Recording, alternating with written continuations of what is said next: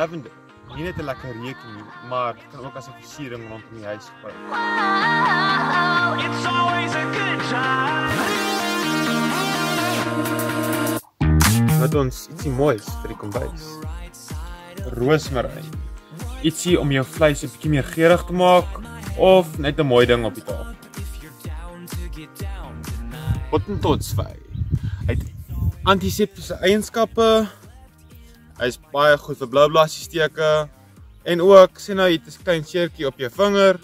Kan jy net 'n bietjie squish, smeer hom op die seertjie, sal hy volgende dag baie beter. It's always a good time.